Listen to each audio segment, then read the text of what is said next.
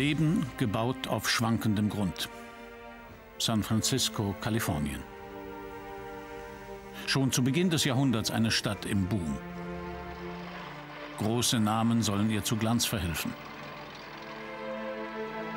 Enrico Caruso, Startenor aus der alten Welt, gibt der jungen Stadt die Ehre.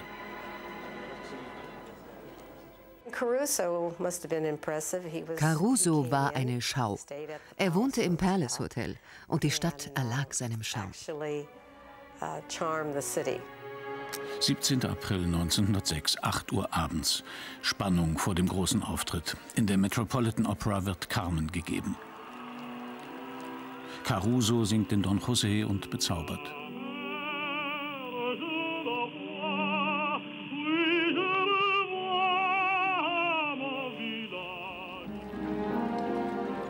Langsam erwacht die Stadt nach diesem großen Abend wieder zum Leben. Ein ganz normaler Tag, so scheint es. Die Cable Cars sind voll besetzt, wie immer.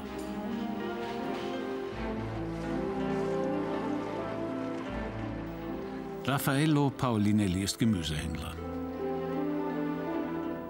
Seine Tochter Cora ein Jahrhundertkind, damals sechs.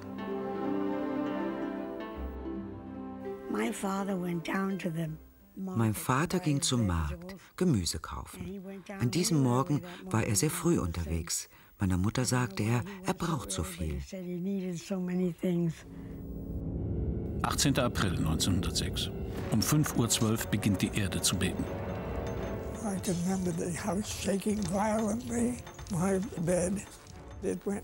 Das Haus wackelte furchtbar. Ich lag in einem Kinderbett, das durch den ganzen Raum geworfen wurde. Und meine Mutter schrie, das ist das Ende der Welt. Eines der schwersten Beben, das eine Großstadt je heimsuchte. 48 Sekunden dauert der Albtraum.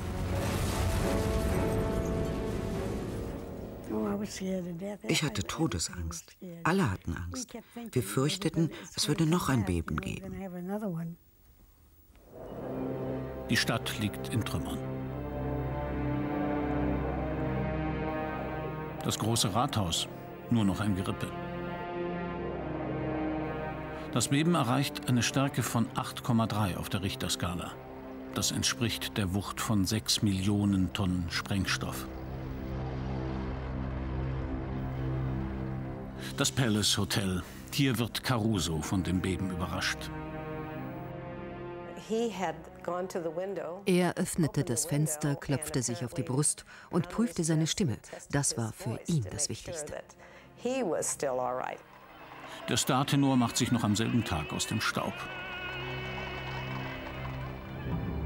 Die Zurückgebliebenen haben Angst vor einem Nachbeben. Es kommt. Feuer brechen aus in der gesamten Stadt.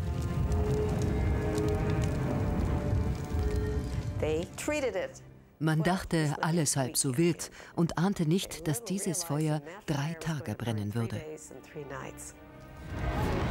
Die Feuerwehr ist machtlos. Es fehlt an Löschwasser. Das Beben hat die Leitungen zerstört. Der Schriftsteller Jack London, Augenzeuge des Infernos, schrieb, in wenigen Stunden schmolz das Herz der Stadt. Dynamit gegen Feuer. Löschtrupps sprengen, schneisen, um den Flammen die Nahrung zu nehmen. Viele Häuser wurden gesprengt und die schwelenden Trümmer schürten immer neue Brände. Viele Menschen schliefen, als die Erde bebte. Tausende sind unter den Trümmern begraben. Immer wieder stoßen Rettungstrupps auf Überlebende und sind oft ohnmächtig. Das war das Schlimmste, was ich je gesehen habe. In einem Hauseingang waren eine Mutter und ihr kleiner Sohn eingeklemmt. Man hat die beiden da nicht rausbekommen. Das Feuer kam immer näher. Da nahm die Mutter ihr Kind, das war vielleicht sieben Jahre alt, und schlug den Kopf immer wieder auf das Pflaster. Es sollte wenigstens die Flammen nicht mehr spüren. Man konnte ihnen einfach nicht helfen.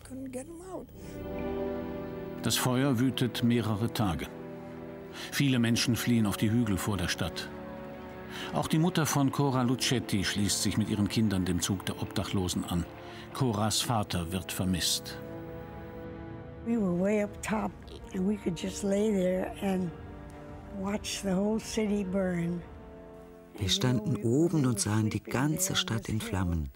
Dort haben wir übernachtet und die ganze Zeit flogen verbrannte Papierfetzen zu uns hinauf.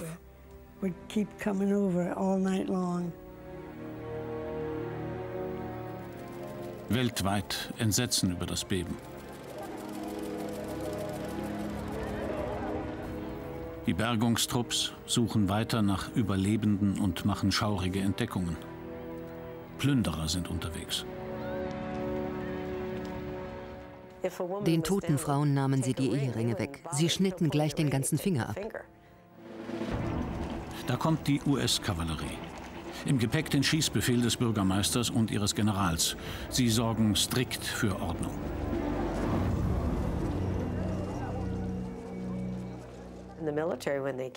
Die Armee machte kurzen Prozess.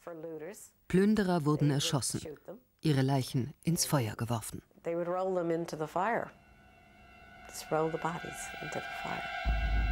Dutzende Exekutionen.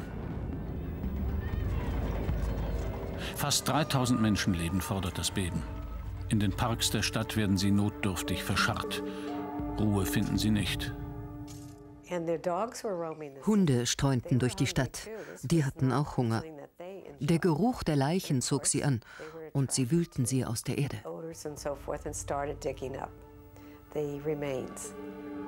In einem der Flüchtlingscamps wartet Cora Lucetti noch immer auf ihren Vater. Eines Nachmittags fährt sein Wagen die Straße entlang. Der Wagen kam auf uns zu, doch ein anderer Mann lenkte ihn. Meine Mutter brach zusammen. Vater ist was zugestoßen, sagte sie. Er ist dort unten umgekommen.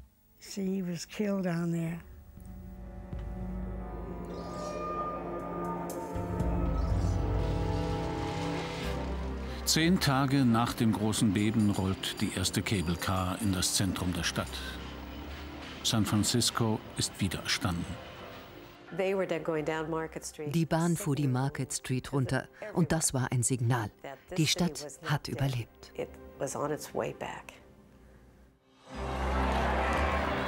Die Bürger bauen ihre Stadt wieder auf, schöner, größer und laden die Welt zu sich ein.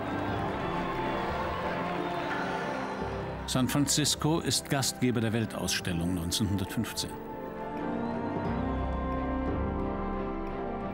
Das große Beben ist Geschichte, doch die Traumstadt am Pazifik lebt mit der Gefahr.